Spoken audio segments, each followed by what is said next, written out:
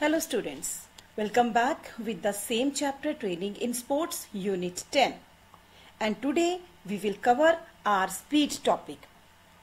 Under this we will cover definition, types and method to develop speed. So first we will discuss speed. What is speed basically? Speed is the ability to complete the task in quickly in short time. In science we can say distance upon time is called speed means how much distance we covered how much time we spent to cover that distance is called speed. To measure speed we use kilometer per hour and meter per second. Speed is very important component for the training. And speed depends upon our heredity and fast twitch fiber plays important role because who are having more fast twitch fiber muscles they are having more speed. They are able to do the speed work. Okay? So to improve speed a runner has to improve his reaction time his acceleration his speed endurance. Means few factors are there which runner has to improve to improve the training or to get the maximum speed. Here we are having few definitions also. Speed is an ability of an individual to perform a movement of same pattern at a faster rate. Okay. Speed is the capacity of an individual to perform successive movement of the same pattern at a fast rate. So next we are having a types of speed. We are having five types of speed here. Number one is a reaction ability, movement speed, acceleration, speed endurance and locomotor ability. These five type of speed are there. So we will discuss one by one. So very first we will discuss reaction ability. What is this reaction ability? Basically, it is the ability to perform an action as quickly as possible to a signal. Means we are waiting for a signal here. To perform quickly.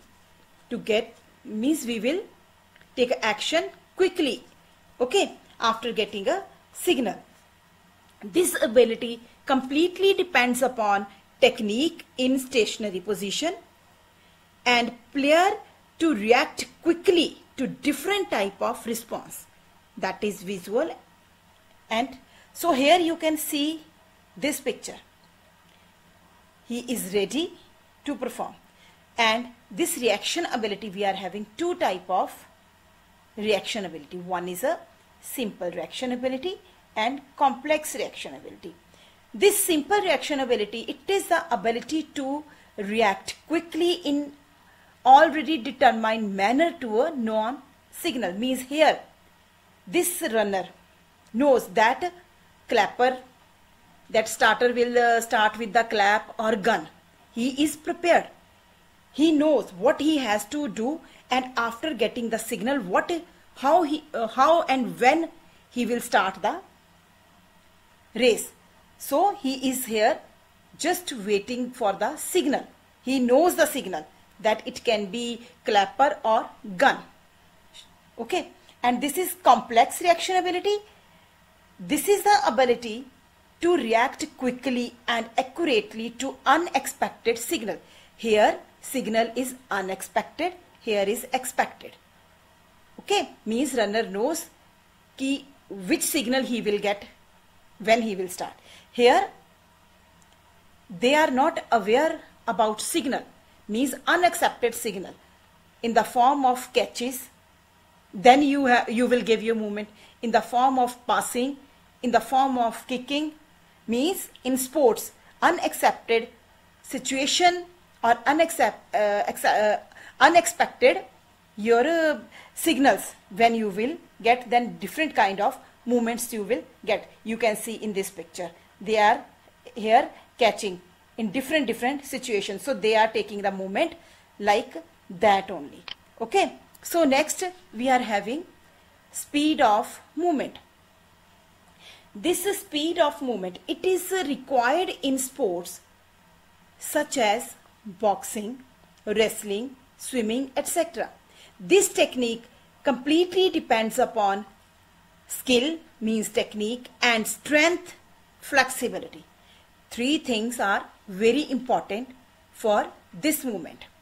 One is the flexibility then strength and correct technique. Okay here muscles will do single movement in minimum time. Okay here you can see okay this player applied technique in a minimum time okay? In a single movement okay? So this is called speed movement means you are doing any movement very speedily. Okay? So next we are having a acceleration. Acceleration this is to gain maximum speed and it is depends upon explosive strength. This acceleration is completely depend upon strength explosive strength means explosive strength with speed and strength the combination of speed and strength is required here in acceleration okay so in sprint races, in hockey, in basketball games, in football, etc. games, we can use this acceleration technique. You can see here in this picture, in a starting position, she was uh, taking a uh, start and in a speed only. Okay, so this is called acceleration. Okay, so next we will cover speed endurance. What is this speed endurance? This ability perform the movement at fast speed even under the fatigue. Okay. So here when athlete will run speedily with full speed and even under the condition of fatigue he is tired also. So under the fatigue also he is just doing the movement is called speed endurance. Fast speed even under the condition of fatigue. For example 400 meter race 200 meter race can come here means they have to run in this picture you can see they have to run continuously in a constant speed although they are tired okay so, this is the speed endurance. Next is a locomotor ability. What is this locomotor ability? This locomotor ability as uh, uh, move the body from one location to another location. As daily in daily routine also we do this kind of movements. Means we are doing the different kind of movements from one side to another side is called a locomotor ability okay so under this sprint short races swimming cycling and students are playing they are taking the ball from here to there they are passing to each other all the activities comes under this locomotor ability and here this is the ability of an individual to maintain maximum speed for maximum possible time. Means in this we cover maximum distance. In this locomotor ability we cover maximum distance as we discuss move from one to another. Means we are covering maximum distance in maximum time. Okay. So this is called locomotor ability. Next we are having methods to develop speed. We are having so many types to increase the speed. Uh, so in the in this if a question will come in a 5 marks so you can extend by adding more points. But technically we are having two strong points here. That is acceleration run and pace run are very important. Basically by these methods only we can increase our speed. Okay, so first we will discuss acceleration run.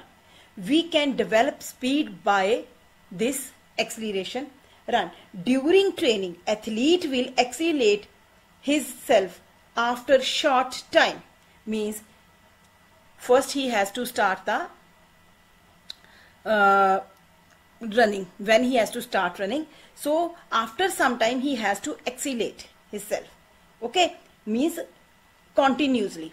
For example i'll give you one example here. First athlete will start the warming up jogging. Then he will accelerate. Okay? Then running. And last work he what he has to do? Sprinting. He has to do the sprinting in repetitions which is very important to increase the speed. In this sprinter achieve high speed from stationary position we can achieve maximum speed within 5 6 second and during this interval should be there. I'll show you here. Here we covered this acceleration. This girl she has to take start from here. When she will take start so she will take hardly 5 to 6 seconds to maintain his her speed. So this is the basically method to develop speed. This is called the acceleration run which is uh, uh, which is very important for the short distance races. Okay? Next is a pace run. Pace run is a constant speed only. They will run continuously in a same speed. Under this 100 meter 400 meter 800 meter. Means they will not stop they will continuously do the workout in a constant speed is comes under pace run next we are having a difference between acceleration run and pace run here we will discuss acceleration run what is the purpose of this acceleration run? Help to develop acceleration part of speed which is very important we discussed. Key acceleration part is very important. And what is the procedure? Start running to very fast speed from crouch position to short distance race. Crouch position means this is a sitting start. This is a first one type of a sitting start. Okay. The distance 50 to 60 meter means between this distance they will accelerate. They will increase the speed at 90% to 100% best ability. And what is the practice time?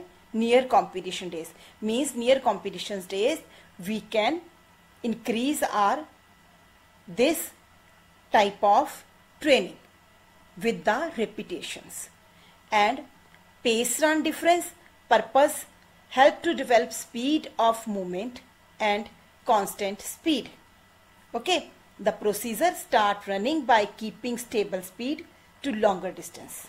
Means same speed will be continue in which you have started for the long distance races. And distance you have to 200 to 800 meter. Distance will be covered by athlete. Okay? And speed will be constant. Speed uh, in at a constant speed and the this uh, intensity is a 60 to 90 percent. And practice time near final phase of preparatory period okay? So this is the difference between acceleration run and pace run. And uh, warming up should be there. Avoid training early in the morning. Few precautions i am giving you. Before starting this training few precautions are there.